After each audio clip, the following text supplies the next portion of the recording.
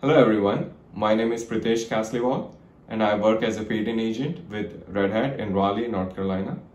I'm humbled to be chosen as top 50 intellectual property leaders in the world by the esteemed jury of IPR Gorilla.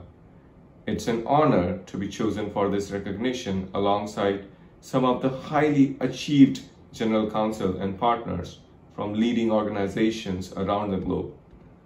I have been associated with IP industry for about 15 years and have been deeply involved in the complex te technology aspects of the cloud domain.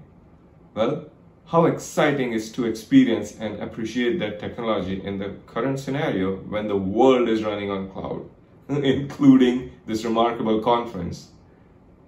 I have been fortunate to witness the growth of this almost sci-fi like technology infrastructure and what a journey it's turning out to be working with some of the most brilliant mind of our industry.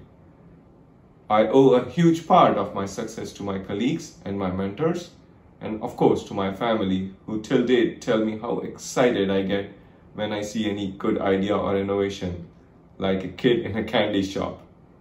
Well, thanks to the team and the jury of IPR Gorilla for this memorable recognition. Appreciate it.